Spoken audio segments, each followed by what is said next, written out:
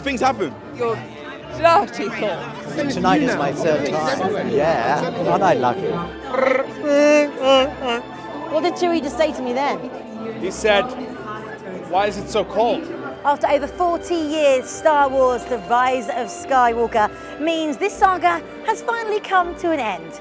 And what a way to do it. Personally, uh, it, it's selfishly it's sad because I'm not going to be doing this with them again. And, and, as a fan, you know, to see something come to an end, I mean, something like this, it, it, it's a, you know, it's an emotional thing. But I, I, I hope that people come to the film and and love it and leave feeling better than when they got there. We're at the end of the saga. Yeah. Are you uh, totes emotion, as they say in Essex? Well, um, I was emotional on the set a bit on my last day.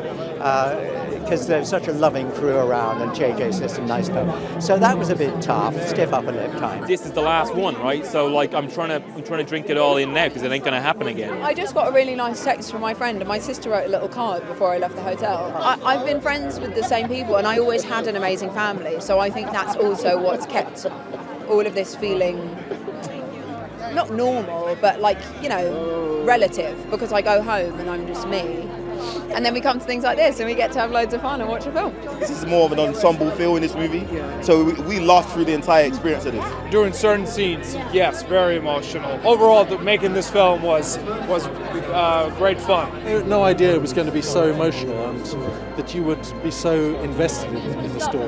You know, I watched it since I was 20 years old. Who would have believed I'd be standing at the premiere of The Rise of Skywalker, having been in several Star Wars movies?